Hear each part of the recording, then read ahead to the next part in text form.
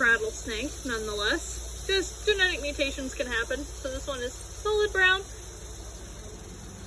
it's like an albino version then? Right, albinism is another kind of genetic mutation that can cause a color change.